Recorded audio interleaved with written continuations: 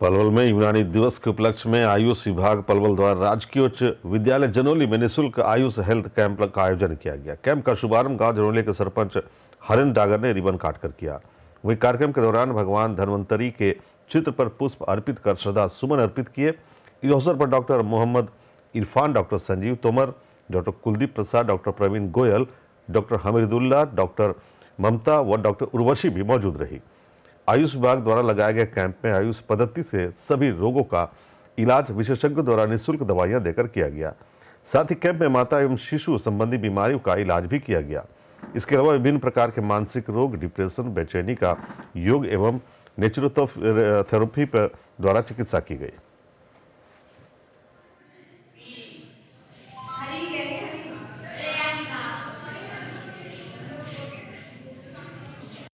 मेरा नाम डॉक्टर हमीदुल्ला, यूनानी मेडिकल ऑफिसर। मेरी पोस्टिंग गाँव खाबी के अंदर है और आज ये प्रोग्राम भारत सरकार द्वारा और स्टेट गवर्नमेंट की तरफ़ से यूनानी दिवस के रूप में मनाया गया।